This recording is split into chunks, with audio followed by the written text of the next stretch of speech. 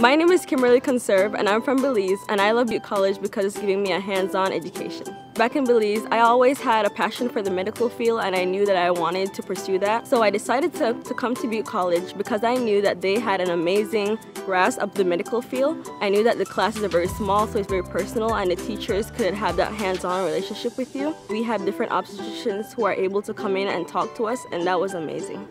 My name is Kimberly Conserve. I come from Belize and I chose Butte College International.